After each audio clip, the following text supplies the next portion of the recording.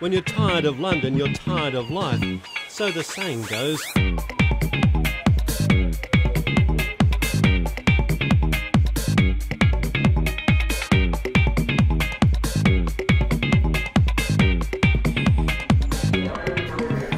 The pace and vitality of this world capital never falters.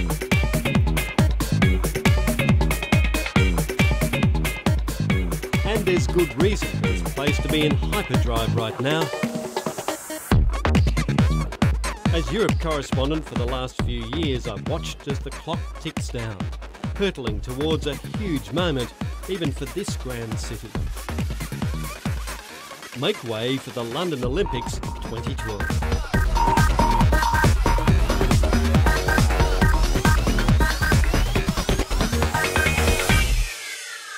It's going to be a hell of a show, at least that's what we're promised. And I'd have to say there is a palpable sense of excitement here. Most people want Britain to succeed on the world stage, but scratch that shiny Olympic surface and not everyone's happy. Either way, love it or loathe it, the greatest show on earth is coming, ready or not. In our whirlwind tour of this city, I'll meet a famous Londoner who's invested everything in the Games and can already smell success in his nostrils. Fantastic. And a less well known chap with a different take on what's happening to his city. Crack comes to mind. There are plenty of grumpy old men around here. We'll meet an elite Olympic gold grump. Because frankly, I think that, that kind of sport's bullshit anyway. And someone else who can't believe their luck. Wow, that is absolutely stunning. That is amazing. Lovely, isn't it? We've arrived at the field of Olympic dreams, eight kilometres northeast of Big Ben as the crow flies. 200 hectares carved out of what Game Spruik has described as a toxic wasteland in London's hugely unfashionable and unloved East End.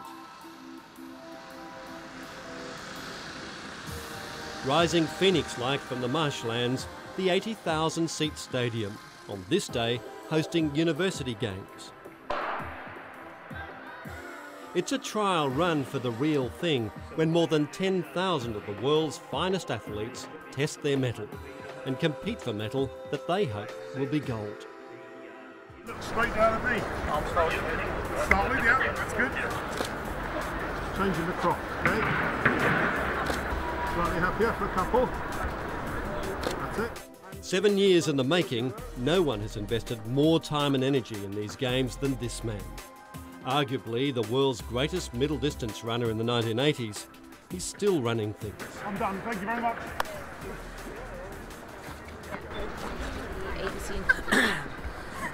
Oh, that's good. We're about to meet Mr. Olympics himself, Seb Coe, Lord Seb Coe. Of course, uh, he's won gold medals for GB before.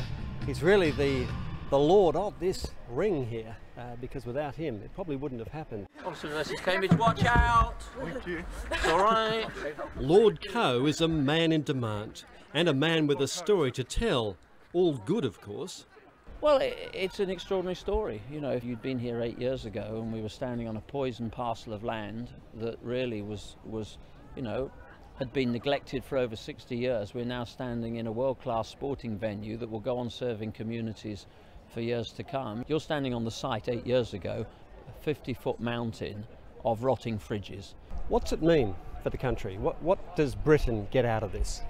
Britain gets out of it exactly what Australia did. You know, no country is ever the same once it's staged a game, certainly no city is ever the same.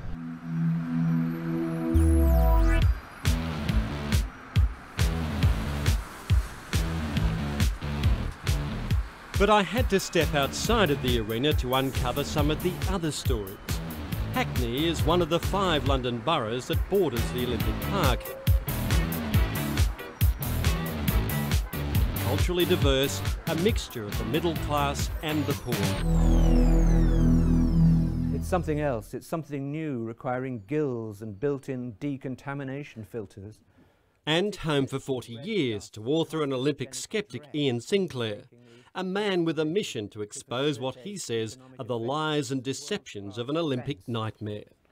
Gateway to London's Olympic Park, over 300 dynamic brands, 1.9 million square feet of retail and leisure destination, Westfield.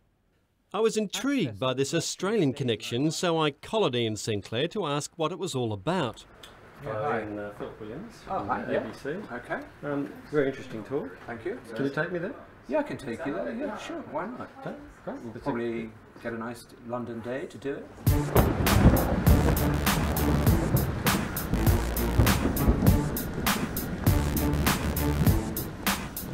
It turns out that by happy coincidence, the recently opened Westfield Stratford shopping mall finds itself right on the front door of the Olympics.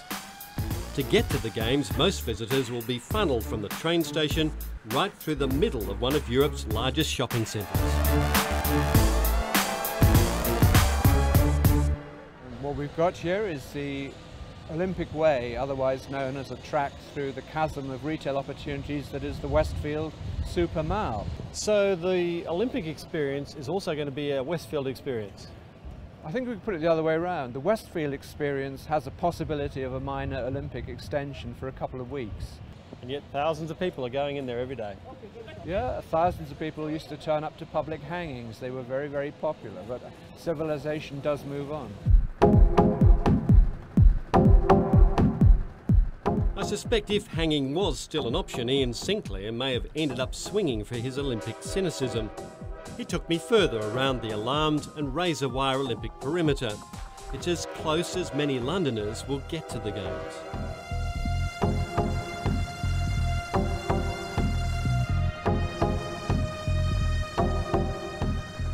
We're now going to have more military personnel at Stratford um, around the Westfield Mall and the Olympic site than, than were used in the whole of the Afghanistan campaign from England. Really? That's a fact. How do you feel as a local resident when you see this? Well, I feel I feel excluded from my own territory. I feel I hardly know who I am myself because all my familiar markers that I've known over 40 years have either disappeared or been enclosed in razor wire. In one respect, we are the world leaders, and that is in fences and surveillance systems, CCTV cameras, helicopters overhead, all of that. We, we're pretty safe, we're secure. Everybody knows what we're doing all of the time. Gold medal. Gold medal, definitely. Iain Sinclair's magical misery tour was getting a bit of a downer after Lord Coe's glowing spruik. But this man of intellect and culture surely knows art when he sees it. Well, but this particular piece, I think, is like a DNA spiral caught in a whirlwind and blown round an East German border post. Spearing higher than the Statue of Liberty on the Olympic site is a sculpture by British artist Anish Kapoor. It'll be there long after the Games as a viewing platform over London. If the stadium itself is a flat pack stadium from IKEA that could be any height you want, these are the bits that are left over. There's always something at the bottom of the bag that you can't fit, and they've scrambled it together. It's turning the city into a circus like the end of the Roman Empire. It's all blood and circuses. Take the minds of the people off it by throwing up another big show, and this is the biggest show in the world. The greatest show on earth straddles a vast area. It stomps on a lot more ground than the rusting pile of refrigerators Lord Coe talks about. Philip oh, Williams, there. foreign correspondent. Yep. Nice to meet you. Yeah, good. Julian Cheyne was one of the 430 residents in his Great estate view of your tapped on the place. shoulder and told to move on in advance of the bulldozers. Clays Lane Estate was a social experiment in the 1970s, the UK's largest purpose built housing co op. The residents received a small relocation allowance, small comfort for the upheaval to their lives. Well, I've lost a home. I had a bungalow, which um, I wanted to continue living in, and I lost a community, which was a lot of people living nearby. The estate was laid out in a series of 10 courtyards, um, and it was a very sociable place, and there were lots of people that I knew there. So, as far as I was concerned, you know, this was, um, this was my home really for the rest of my life. When you look out here, look around, what do you see? I'm afraid I'm depressed because I, I see something which is, is basically a lie. This was a working industrial area, and working industrial areas are not always pretty. But there were perfectly nice factories and workshops It was not a, uh, the whole place was not some kind of waste tip. If you want to have a national celebration, a national sports celebration, you can do that by employing existing facilities. You don't have to go for this massive kind of spaceship kind of thing landing in the middle of East London like this.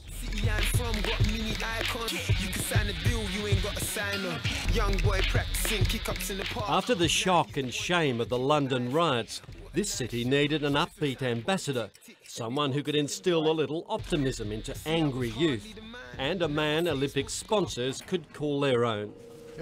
Well, they found him, one of the UK's hottest rap stars, Wretch 32. And you're up next, let's take it away.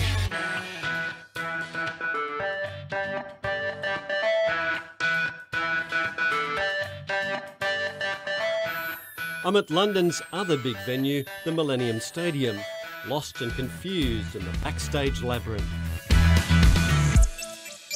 Well, we're going to meet Wretch 32. He's a, a big star, and we're on the run. Apparently, very keen on the Olympics. Let's see what happens.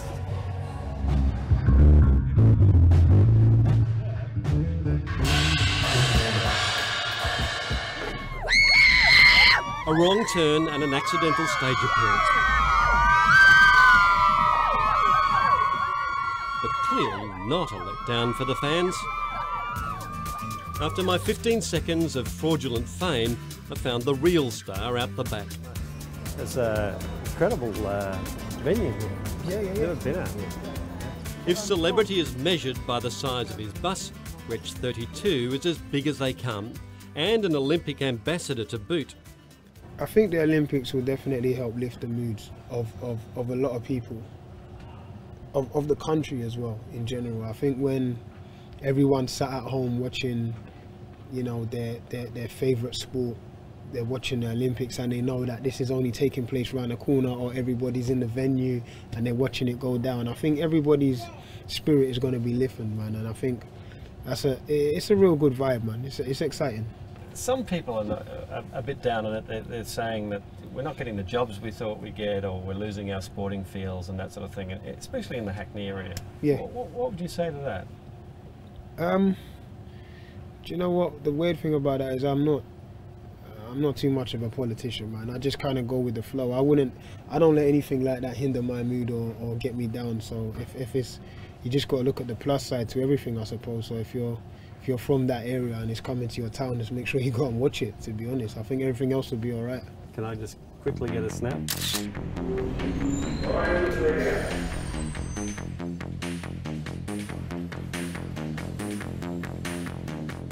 I'm buoyed by Wretch's prediction that the Olympics will be banging, haps, and fully sick. That is a jolly good show. But I suspect the man I'm running late to see won't be so upbeat. He's not someone I want to keep waiting, with his reputation as one of British television's grumpy old men. Uh, where, where's my coffee? Will, Philip Williams, how are you? Nice to meet you. So, the Olympics, not a big fan.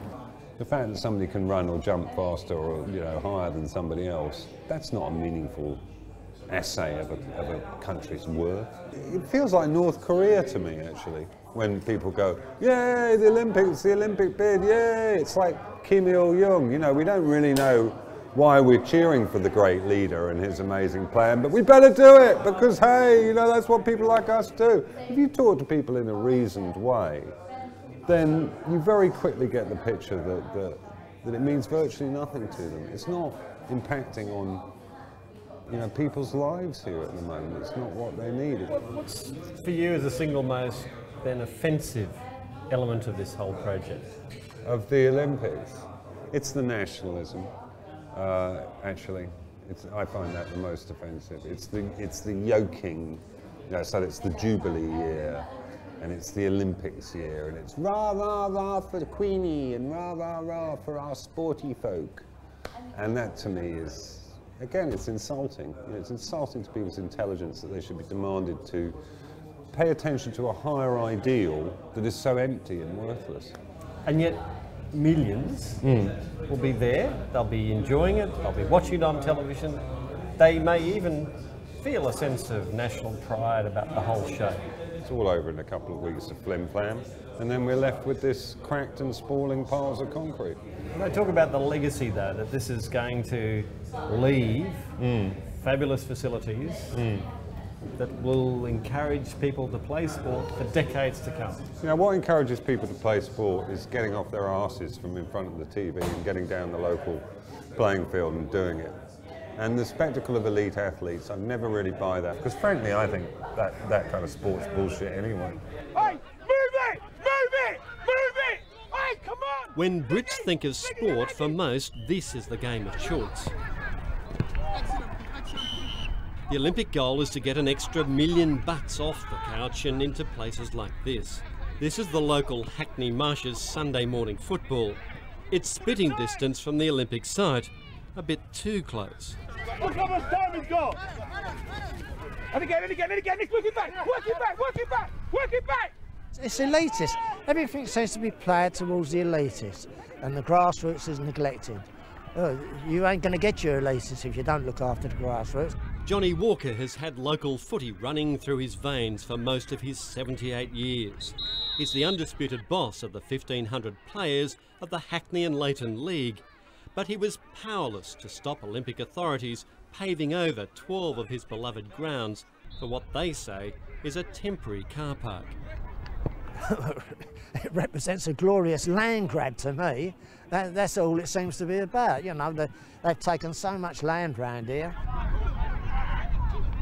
Let's look at one word to encapsulate the Olympic sphere. What would that one word be?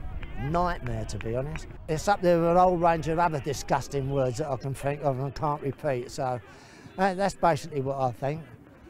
Have a go. You're on Australian television. well, uh, well, I can't go too strong. but, uh, crap comes to mind. I, I, uh, I, I hate the bloody word, and I hate the people that pontificate, pontificate in, in front of it. If Lord Coe was here, what would you tell him? What would I tell him? It- it- if I was younger, I'd like to give him a clamp. Because these smug look, you know, and, uh, oh, well, you know, I've done all this, I've done all that. Yeah, he's done it on the backs of us. Well, I like to chin him.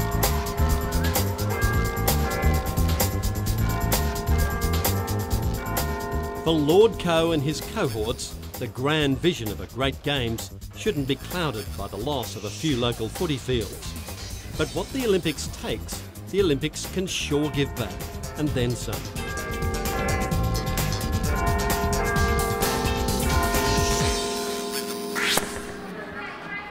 Wow, that is absolutely stunning. That is amazing. It's lovely, isn't it? I'm very proud of it, I must say. Wow, and how much of a role has the Olympics played in the construction and in this being here? Well, they contributed 1.2 million towards the cost of the total cost of the building, so yes, we wouldn't have been here without them. Could you show me around? Yeah, absolutely. In London's southeast, former Olympian Yvonne Arnold runs a gym big enough to keep the whole community fit. Soon it'll become a training venue for Olympic volleyball teams. She's also nurturing the next generation of champions. Can you see some gold medalists here, perhaps? I hope so. I think we have got a two or three that could make it to Rio. Yes, we're too young now for, for London. We haven't got anybody for London, but um, Rio definitely four years down the line. I see maybe two or three. Carolina? Carolina? This is a facility that will be here for a long time after the Olympic torch moves on. It's the Games giving something back. The husband and wife team who once struggled to maintain their gym in a dilapidated warehouse have now struck gold well before the Games. And the whole community is sharing their good fortune.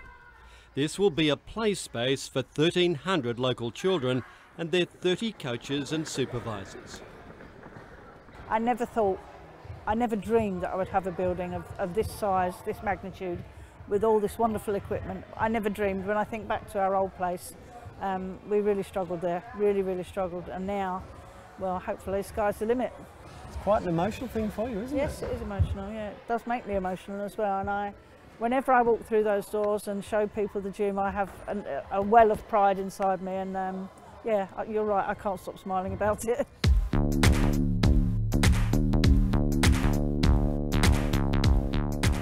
Back at Centre Stage Olympic Park, the trials inside the 80,000 seat main stadium are giving up and coming British athletes a moment to experience the biggest stage of all. But getting ordinary Brits off their backsides is a core pledge of the Olympic promoters.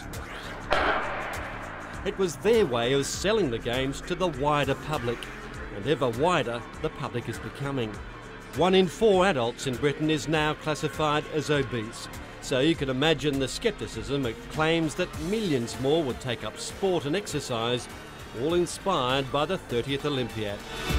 I don't believe sport for all has ever put one extra person into sport. I actually believe the inspiration from sport comes from big British moments, Australian moments, and they tend to be in Olympic Games.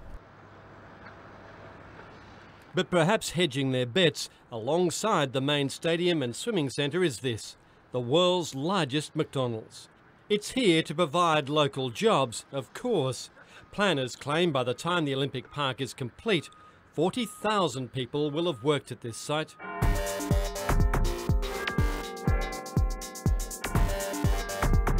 It's all about change for a greater good and legacy, legacy, legacy. So, don't worry, Londoners, it might all seem a bit chaotic, but look at what you'll be left with. The government ringmaster for all of this is the Olympics Minister. Hugh Robertson has got to get it right. No pressure. Well, I often say, I mean, in a sense, with almost everything we do with the London Olympics, we use Sydney as a benchmark. I suspect this is going to be one of those moments of great national celebration. People will benchmark their lives by where they were in 2012. You talk to any Australian who's interested in sport, and they pretty quickly go back to Sydney 2000, and I'm sure it's going to have a very similar effect here. If you're wrong, you might be looking for a new job. Uh, if I'm wrong, I will be looking for a new job, uh, but I don't anticipate that. One of the great rivalries, of course, is who gets the most medals? Oh, Australia GB, and it's been seesawing lately. What's your bet? My bet is that British sport is in a very strong position at the moment. Indeed, I have a, a bet with my Australian counterpart over who's going to win the more gold medals in, in the table. Can I have a tenner on that? Yes. Can we shake on that? Thank you. I'll, I'll, be back to collect. right, okay. Uh, the, the, thing, um, I, actually, the, the, um, if I lose this bet, uh, I've got to run round Australia House in an Australia hockey singlet. So there you go. We'll be there. We'll be there.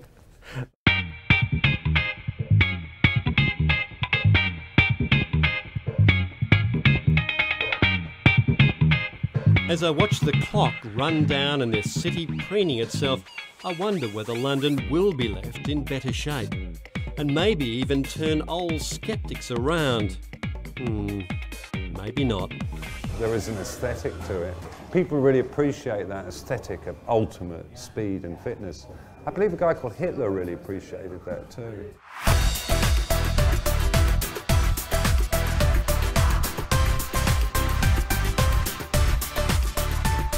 Given your effort and, and, given your concentration on this whole Olympic phenomena, do you get annoyed when you hear people criticising? No, it goes with the territory. I've got great friends that put the Sydney project together. I think we've actually had a far a far uh, gentler ride than some of the misconceptions that were being peddled in, in Australian media before the Games. You know, if you remember, on the eve of the Games, it was going to be a national disaster. It turned out to be the greatest Games ever. If you had one word to describe the Olympics, what would it be? Fantastic. So there you are. I hope he's right. There's a lot of money on it, and not just my tenner. These are hard times, and Lord knows the country could certainly do with a lift.